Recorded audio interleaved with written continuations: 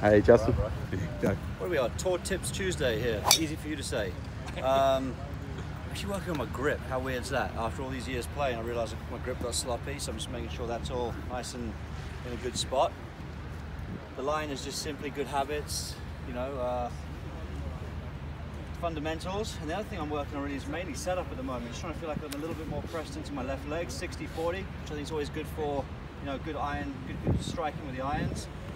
Then I'm trying to feel like I'm staying on the ball. So just working on my kind of like my tilts rather than feeling like I'm turning off it and being sort of pulled off the ball into my right side. So instead of turn to the top, tilt to the top. That's what we're working on. Ball still. Oh, I'm just going to go to it. Mm, add one there. You approve, coach?